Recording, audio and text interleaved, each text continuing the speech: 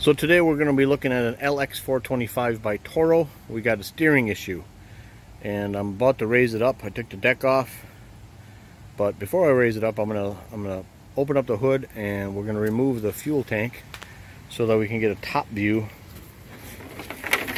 of what's going on with the steering. So to get that off you get a couple of bolts. We got one here, one on the other side and then the fuel line fuel tank I should say should pop right off and if we have to pinch off the fuel line and remove it completely we'll do that too. Alright so this is a 3 8 inch socket. That's for that side over there. This one over here looks smaller so I think somebody might have replaced some bolts here but we'll get them both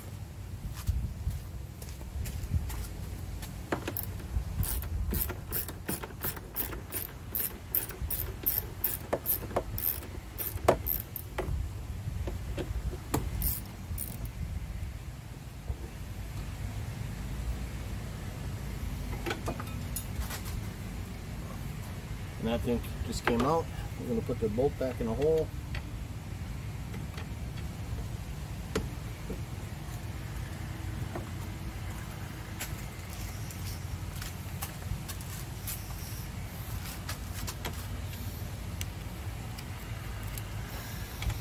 And this one's a 5 16ths.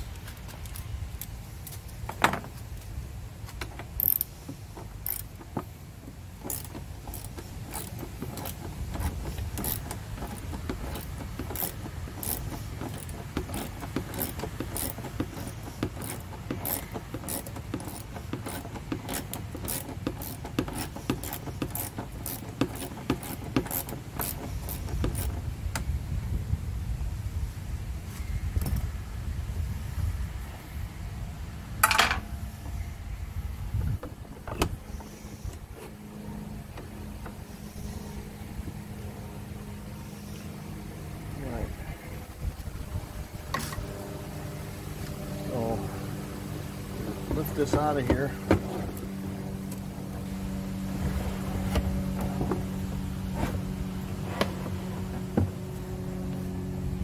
What I'm going to do here is the I'm going to remove this fuel line. I'm going to pinch this off and then remove the fuel line down there so that we can get this whole thing out of the way.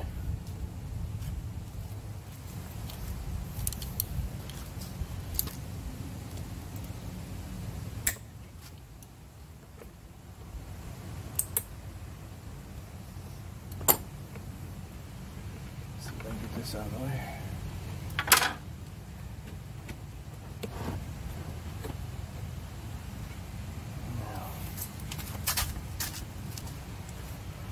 Gonna use the fancy dancy fuel line uh, pliers here, see if that works.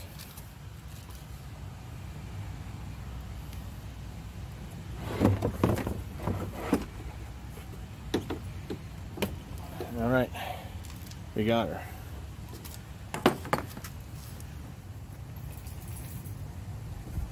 Set this aside.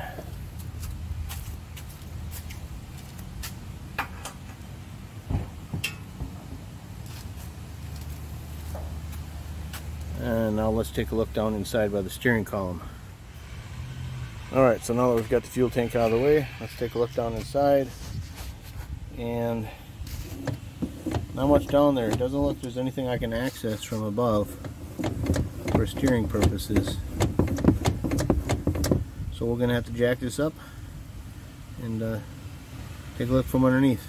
Well, while we're here though, I can point out to you that there is a safety switch right here.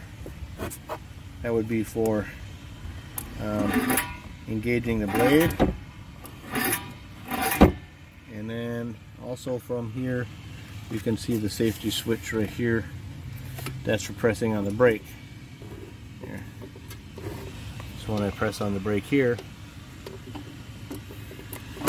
so that's where two of your safety switches are located. All right, let's get this thing up in the air.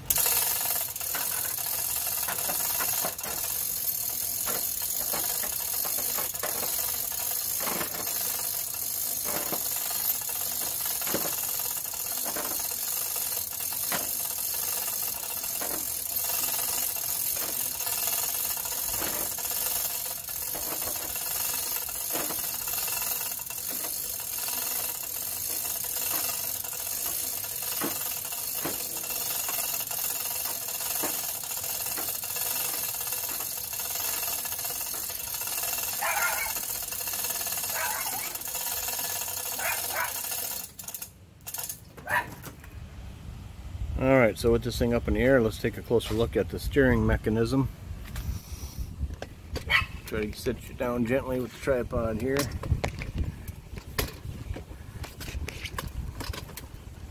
And I think that's what we're looking at right here.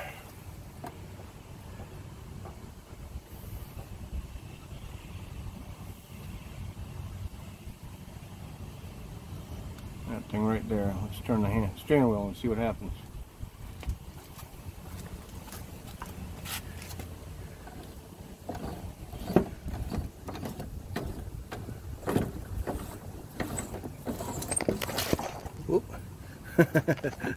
well, with it up on the air, it steers pretty good, but I think that gear is is worn. So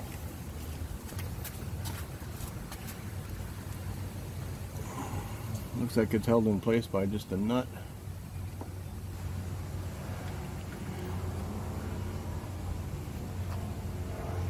So we'll get a put an impact down there and take that off. Or um, I guess we, if somebody didn't have an impact driver, they might be able to just uh, anchor the steering wheel, tie the steering wheel so that it doesn't turn. But it's only going to turn so far one way anyhow, so let's find out what size we need. Alright, of all the goofy sizes, that's 11 sixteenths. So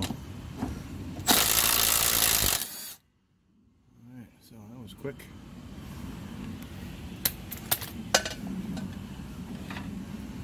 And this, this slid, slid right off. It's a little worn out.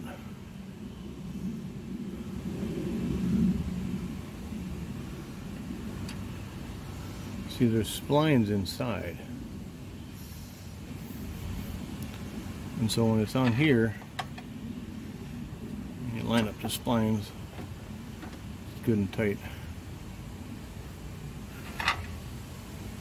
But we'll get this on order. It looks almost like brass, but we'll get a new part on order and get it back in place. Alright, so now in addition to that gear that I took off, we've got a washer on here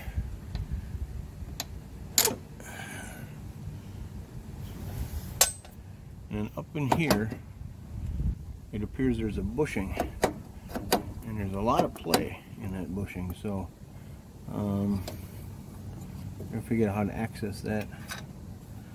But uh, I'm going to guess that that bushing needs to be replaced. Let's take a closer look. Alright, so it's been a few days because I had to order the parts, but the parts have come in. And we'll show you what I found here. You take a look, you'll see this is the, the steering shaft and I can even push that out.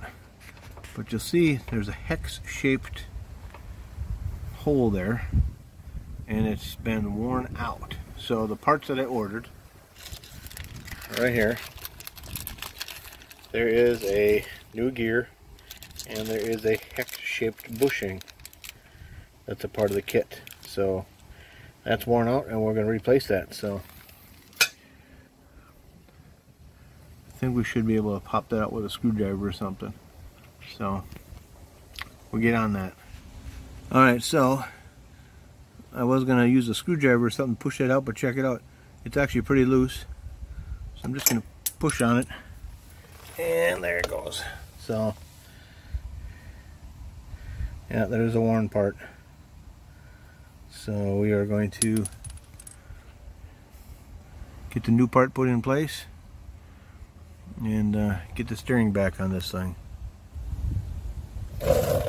Alright, so we got the new part here, and so we're going to have to just somehow very carefully sneak it in the hole there. There's some stuff in the way.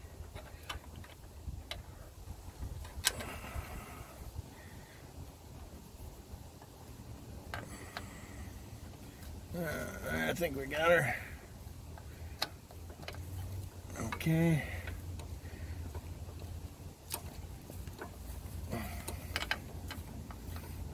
Now,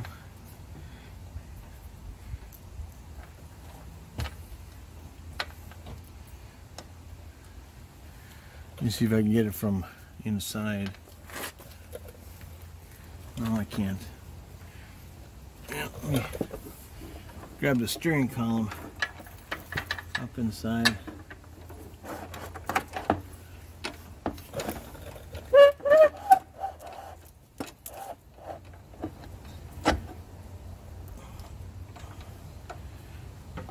There you go. That seems pretty good. But now, before I put the put the gear on, I want to make sure that the wheels are relatively straight. And then I'm going to go make sure the steering wheel is straight. So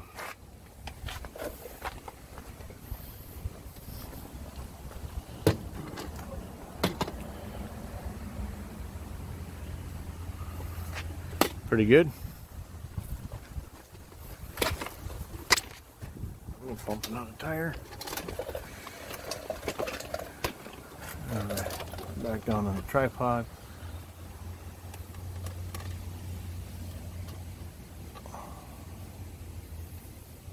Let's get the gear on. Alright, if I recall, this washer was was on there first.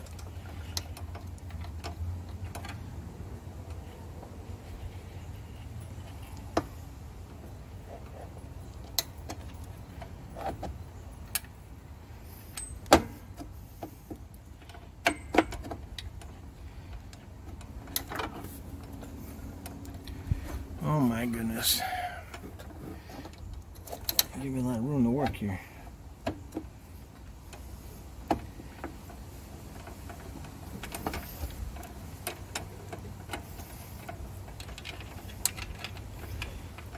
Well, I know the washer has to go on there.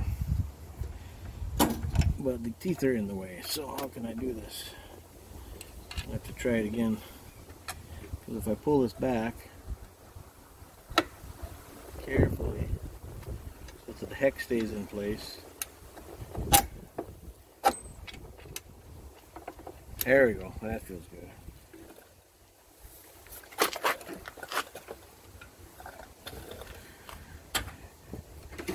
And then we got the new gear. Like so. And the washer.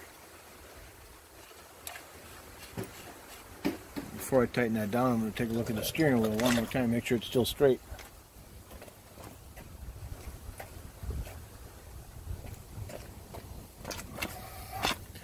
No, it got a little cockeyed, so reach back here.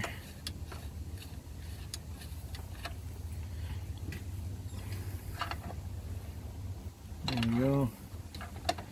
Again, just check the steering wheel.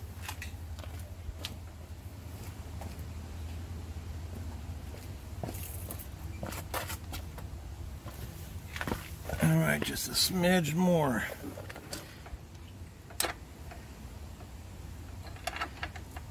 Is that a smidge?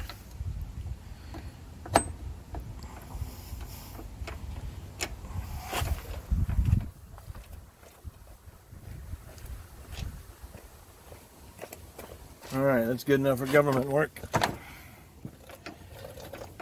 It's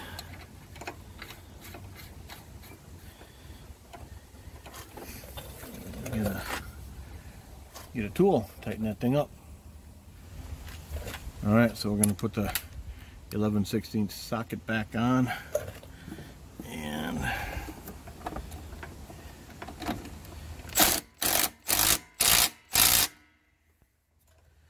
and I think we're golden. Let's turn the steering wheel, see what happens.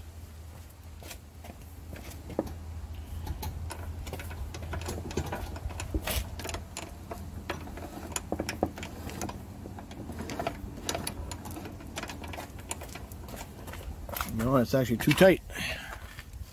It turns, but it's really tight. So I'm to back this off a little bit. See if that helps any.